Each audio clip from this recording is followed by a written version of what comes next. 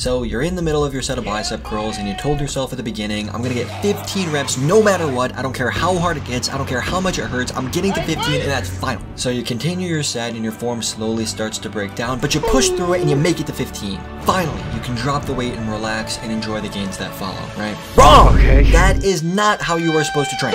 Because when you aim for a specific number of reps, your only goal is to reach that number of reps. Sure, you may have trained hard, but did you train to failure? Maybe, maybe not. It was pretty hard to tell, considering your form turned to absolute dog. You see, going into your set with a rep target already in mind is a recipe for disaster. That's because when the weight starts to feel heavy and you inevitably start to slow down midway through, instead of letting your muscles fail, you then start to use momentum, less range of motion, body English, and improper technique in order to push through the last few reps and reach your goal. Oh, but look, I can't lift the weight anymore, so I failed.